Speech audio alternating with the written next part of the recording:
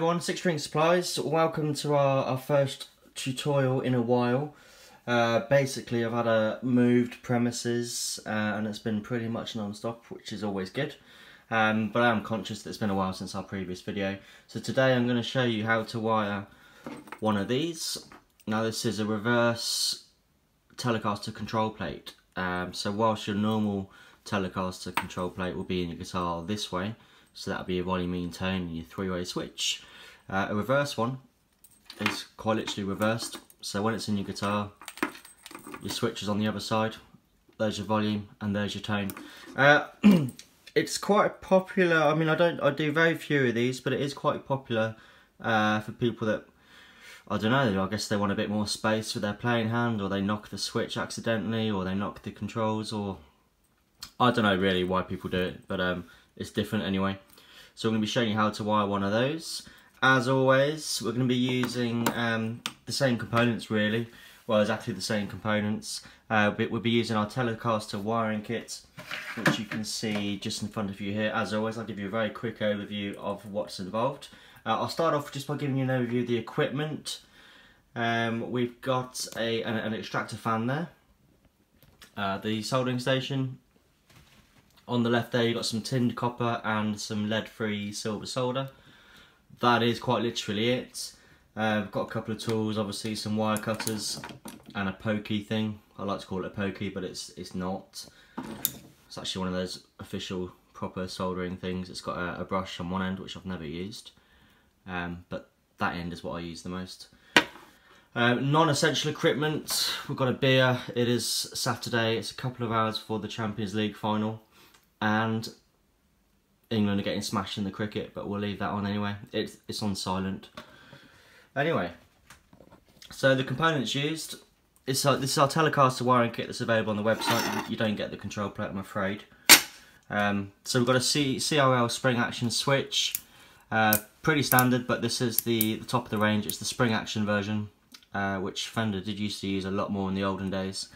Nowadays, there is a bit of snake oil about it, but uh, to be honest, for an extra couple of quid, you might as well make the investment. It will last longer than the oak counterpart, which is also a very good switch. Uh, we're using true vintage taper C uh, TVT CTS pots. Um, don't really know how to describe them really, except that they, they come with what they what's called a vintage taper, and all that means is they're actually 20% audio as opposed to the the more typical or the more common 10% modern audio taper. So you get a bit more. Uh, I guess they're more linear than a standard audio pot, but they're still audio pots. If that doesn't confuse you too much. Uh, a couple of capacitors, 0.047 orange drop, standard for a single coil guitar. Uh, you can obviously use a 0.022 or a 0.033, whatever takes your fancy.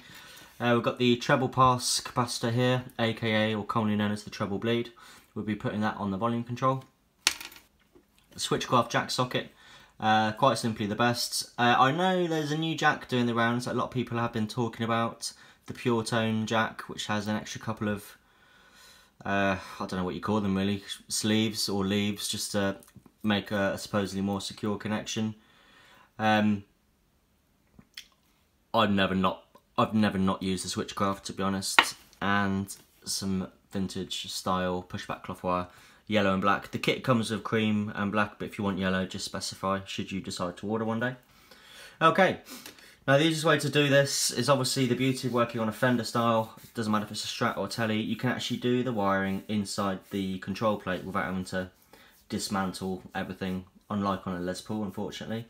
So we're going to assemble these components into this very rustic old control plate, which I'm just literally using as a template, and then we'll wire it on from there. Okay, so everything's assembled. As you can see, it's exactly the same uh, as you would for a normal Telecaster. So here's your switch, your, your three-way blade switch, and your two pots. Now on a classic three-way, this would be our volume and this would be our tone. But of course, it's a reverse setup. So this is now going to be our volume control, and this is going to be our tone control here with the capacitor. So uh, if you watch enough of our videos, you know that we like to start off with a bit of tinning and grounding. So uh, as you should know by now, on your volume control, you need to always ground this terminal here. It's the most outer one or the left hand one there. So this is your input, the middle one is the output, and the third one on your volume control we're going to make it redundant. So we're just going to do a bit of tinning there. So same as always really, uh, I like to spend a couple of minutes following your wiring diagram and just tinning everywhere that's going to need a connection later on. So when you're doing these little eyelets, if you hold your soldering iron behind it and just flow it on from the other side. Now because we're going to be grounding this one, we can just completely fill it. The output on the volume,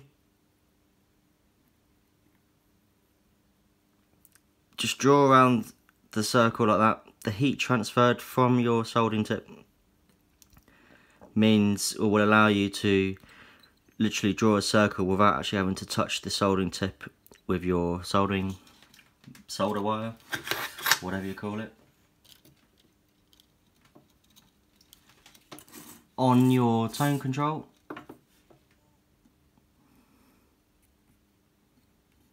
it's going to be tinning this one and the middle which is where the capacitor is going to be going.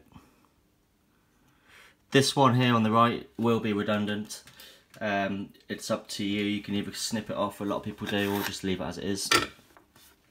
Now on the switch, is actually, we're going to be doing it the same way you would do on a classic Telecaster. So on a, the standard setup, you have uh, a continuous wire, or I have a continuous wire. I know other people like to use a couple of wires. So connecting this terminal to this terminal, then diagonally across, and then to this one, and then that will go into the volume. We're doing reverse setup, so whilst it's essentially the same, we're going to do it backwards. So we're going to have a wire connecting this terminal to this terminal, then jumping across to the other side, finishing here, and then we're going to wrap that wire into the volume input here. So you take your cloth wire, whatever colour, uh, I'm going to use a bit of yellow for this, snip it to length,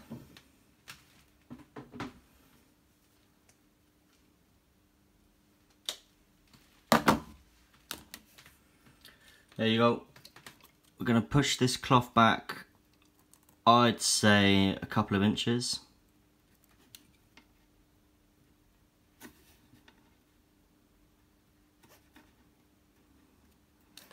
Just like that. Tin, tin the terminals on the switch. So if I turn it this way, there you go, you'll get a better view.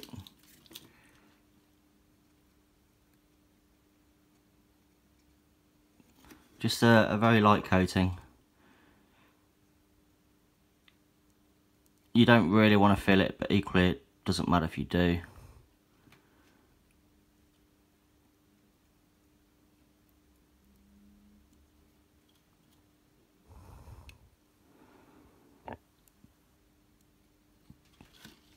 All good.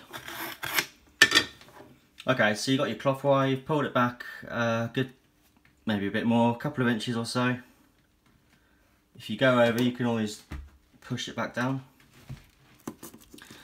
So like I say, we're going to have a wire that connects, a continuous single wire that will connect these two. Then we're going diagonally opposite and then to the left. So these four terminals will all be connected together. So we'll just need to solder that in place.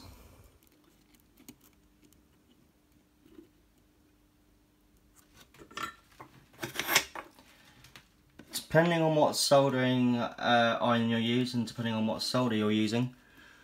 Um, mine's a temperature adjustable, it's a Hakko or Heiko, however you call it. Uh, it's set to 375, which is potentially a little bit low. My solder is, um, it's got no lead in it, silver solder. So it generally requires a little bit more heat to float.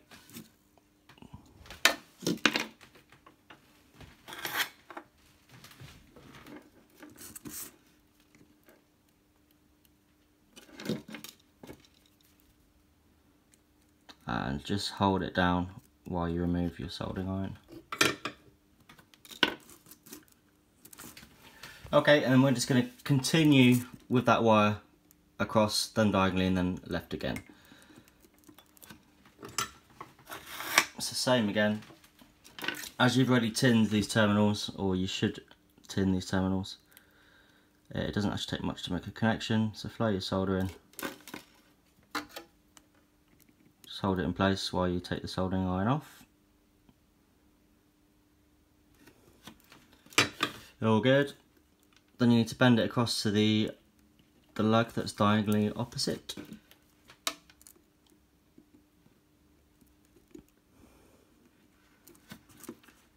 Just like that. So we soldered these two in, we're going to then solder it to this one and then finally to the terminal next to it.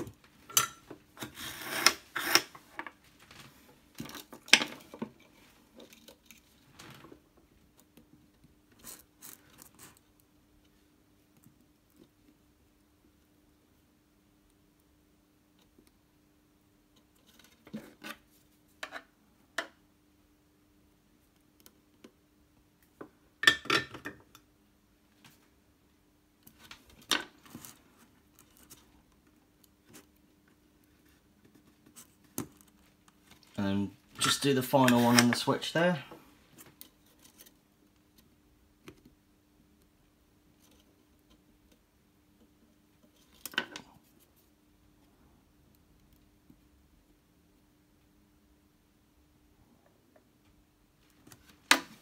Sorted. Right, so that's your switch done. Now, if you can, as you can see here, and I get a little bit pedantic about this, cloth wire even if you cut it with really, really sharp scissors or proper wire cutters, the cloth wire does tend, the cloth itself does start to tend to fray at the end. So what I'll tend to do with that is to use a little bit of rubber tubing just to cover the end of it and then use uh, either a cigarette lighter or a heat gun just to shrink it down in place. I finally bought a heat gun a few weeks ago. I'm just going to shrink that down.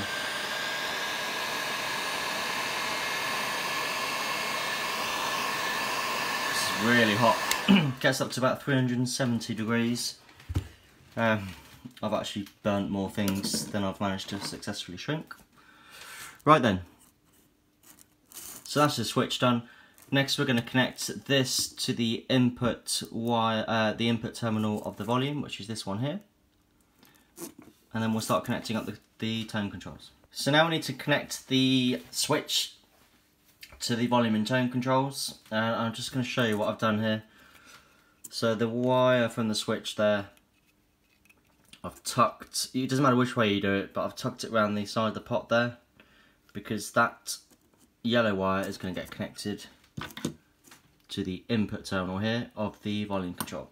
And we're also going to have a wire connecting the, a separate wire, excuse me, coming from the same terminal there, the input of the volume, to the lug directly opposite, opposite, opposite of the tone control.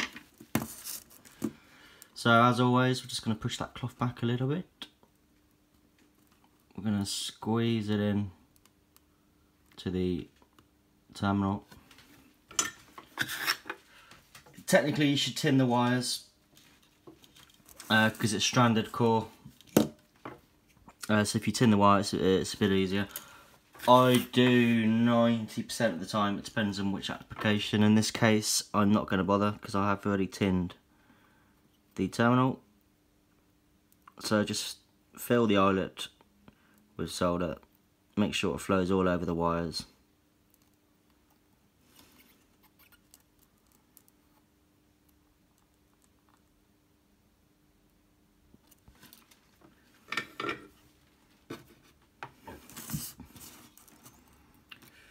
Just like that. So that is your switch now connected to the volume control. And like I say, we're just going to have a separate wire connecting, coming from the same terminal to the, the lug directly opposite on the tone control.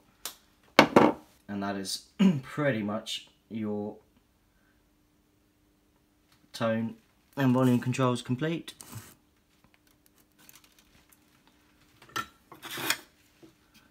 So we're just going to heat up that terminal again that you've just filled.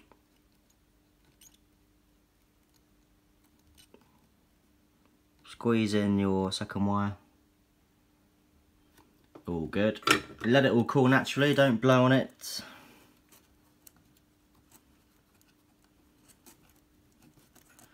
That's actually a tiny bit too long, I'm just going to give that a quick snip.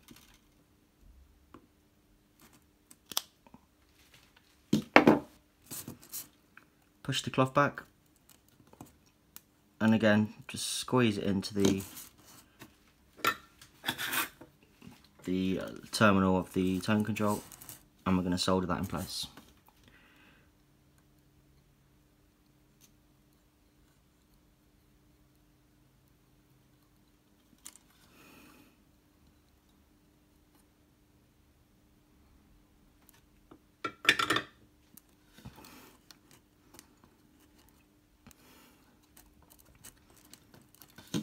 Sorted. So essentially, if you take out your multimeter, which I'll do, your tone and volume controls are now all connected to your switch. I've got this set onto continuity, so just to show you that. This terminal here, the switch, should because we use a continuous wire going all the way from the end of the switch to the volume control and then to the tone control, if we tap the tone control and then the end of the switch, there you go. It's all connected. Right then. As I said at the beginning of the video, we need to ground this lug here we do a separate video on how to ground lugs. The, there's two ways of doing it. Turns out that video is not too popular. But um, the way I always do it is just to fill the eyelet with solder as we've done at the beginning. And then I like to ground it to the back of the pot this way. Uh, the easier way I suppose, although I find this way easier, the easier way is to put a, a bit of wire through the eye looked and connect it to the back of the pot and it does exactly the same thing. Right then, next we're going to put in the capacitor. So as I said with our wiring kit you get one of these, it's a 0.047 orange drop and your capacitor goes on your tone control obviously so you're going to have one end going into the middle here the middle terminal and the other end is going to be grounded to the back of the pot or the side of the pot whatever you find easier so I'm just going to trim it a wee bit. Uh, we'll do that one.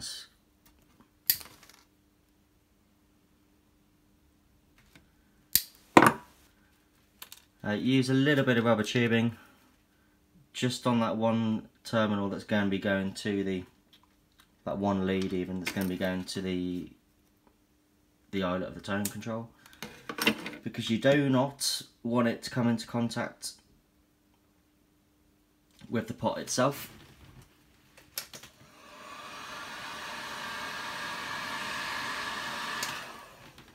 Okay, so something like that. I've cut one end shorter than the other. And I need to make it a bit shorter now. Bloody hell.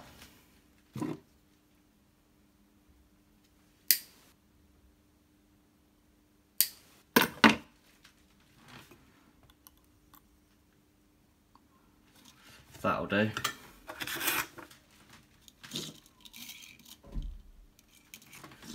So keep one end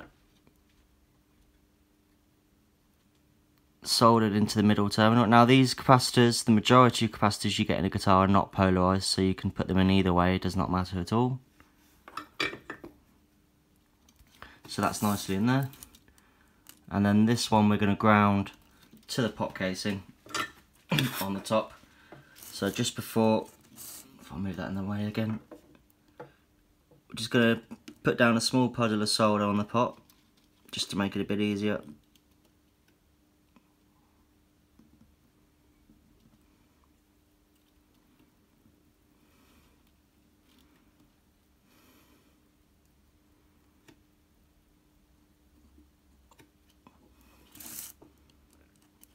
Sorted.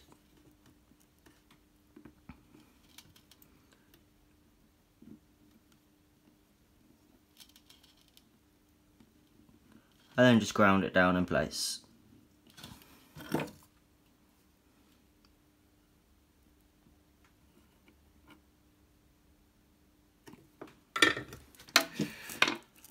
Okay, so that's my tone controls done. Now we're just going to put in the jack socket and the treble bleed and then we are pretty much done. Right, so all jacks are the same in the sense that you've got two, two terminals here. This is Switchcraft and the Switchcraft logo is actually engraved. I say logo, it just says Switchcraft. It's probably not their logo. It's engraved there on the sleeve. Uh, so this inner sleeve here, the inner ring, that's the ground terminal and the outer one here is the hot or the live.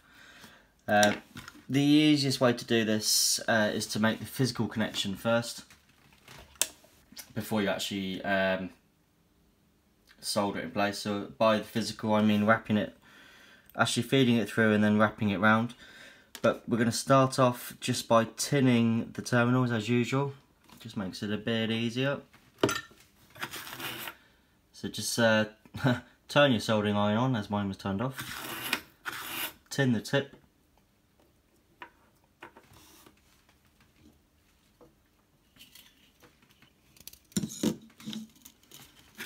Okay. Oops.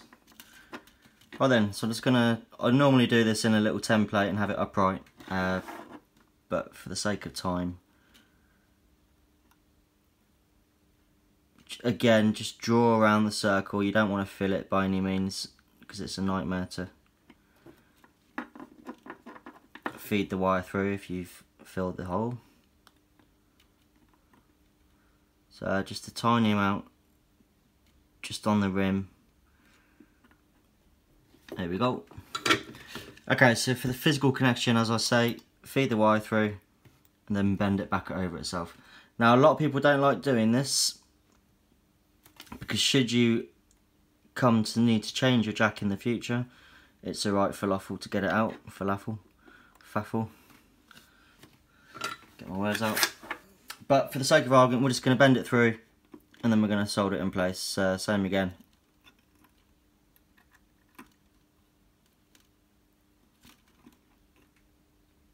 Just let that cool naturally. Push the cloth back down. Now this is where if you're using rubber tubing, this is 3.5 millimeter. Uh, it's very useful just to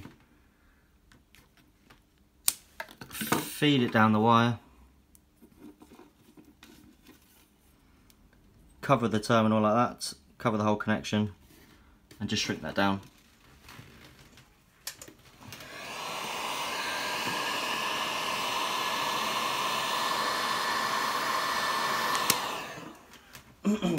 Just takes a couple of seconds on the lower heat setting. Normal or turbo. And then do exactly the same with the ground. So in this case I'm using black wire. I might as well keep it continuous. Feed it through and bend it over itself.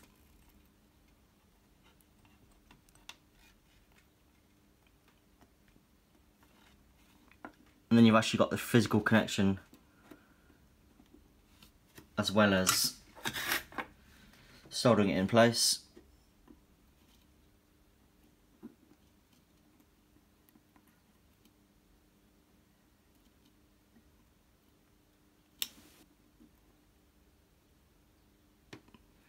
Let it cool.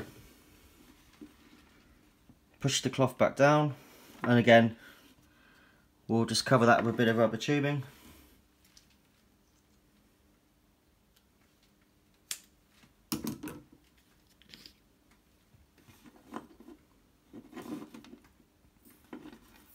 Push that all the way down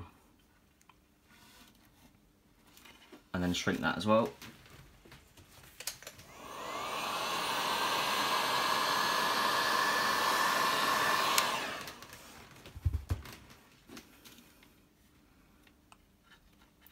There you go, so that's your jack. I'm just going to put a tiny bit more tubing. The tubing's completely optional by the way, I, I just do it out of habit, but there is no reason to do it really except if you're using a bit of copper shielding tape, for example, inside the jack cavity, and these uncovered or unprotected uh, connections come into contact. If this yellow one here gets comes into contact with the copper, you're going to have a short, uh, which you don't want obviously.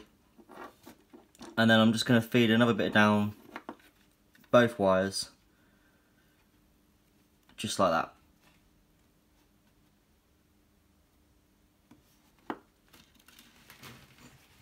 And just shrink that down.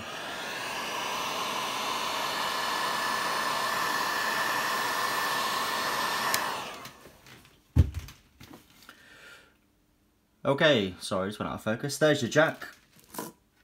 So we're now going to connect this to the main circuit.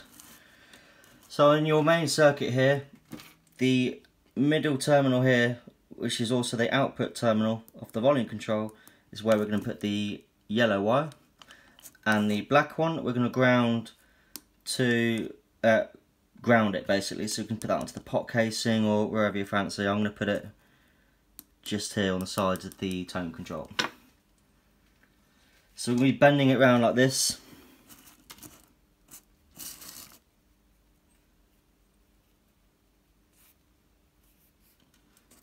Just like that. So yellow's going to the middle there, uh, at the top of the screen if you can see it. And the black's going to be grounded to the pot there. And that's pretty much everything done.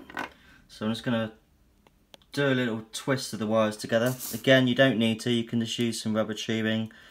But actually, if you do twist the wires together, uh, this helps to minimise the effect of shielding.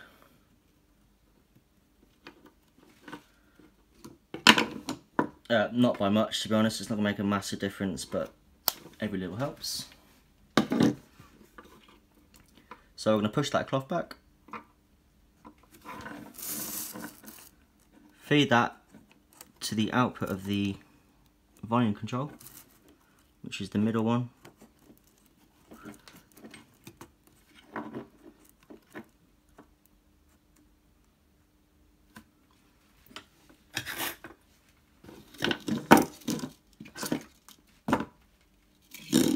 And then solder that into place.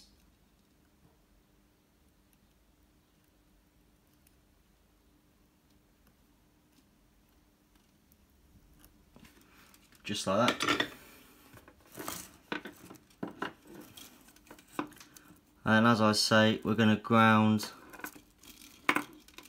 the jack to the pot. So that black wire is just going to be soldered onto the edge there.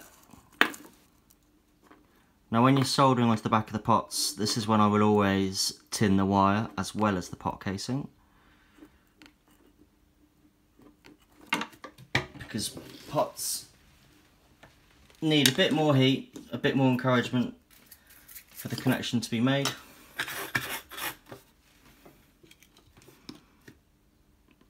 So just hold your soldering iron on the back just to heat up the area a little bit. Flow in some solder.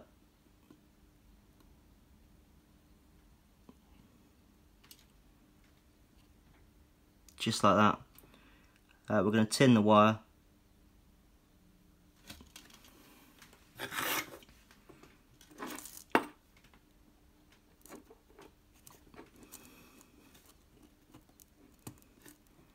and then we're going to ground the wire to the pot.